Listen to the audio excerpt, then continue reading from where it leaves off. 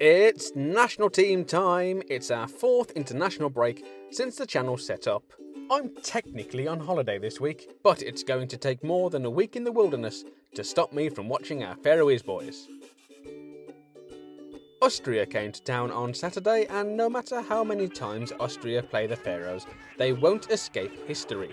So that famous Landskrona match will always be remembered. However, this was not to be again as they came to Torshavn, shuffled in two goals and then flew away again. Laimer and Sabitzer, which sounds like a children's puppet show on some German cable channel, were the goal scorers and once the second goal was in, the Faroes were beaten. However, the last four defeats to Austria have seen the Faroe Islands concede 15 goals, with at least three each time, so holding them to two is actually an improvement. This one isn't fair. After the heartbreak of losing 1 0 to Denmark to a late winner in the last round, Scotland copied their lead and scored an 86th minute winner to sink our beloved Faroes and deny them a fifth qualifying point. And a lot of people watching, including Scottish fans, watched a first half between two very evenly matched sides, despite the 70 place ranking gap between the two. The Faroes were unlucky not to go into half time ahead after Ari Johnsen, who plays in Norway for Sandnes Ulf, spurned a great chance.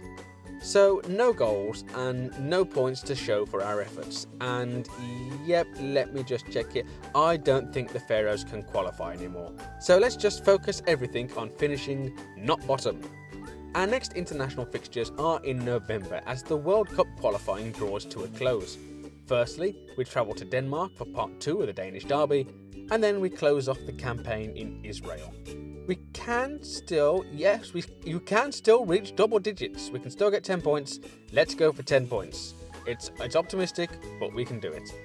I don't think we've disgraced ourselves in this campaign despite only having 4 points. We've pushed Denmark, Austria, and Scotland to three very close games, and there's always signs that the Faroes are improving. Indeed, this is actually echoed in the comments by the opposition managers who have all said that the Faroe Islands are an improving team and not the free hits they once were. Come back in November for the last part of this series in the internationals of 2021, and I'll see you then.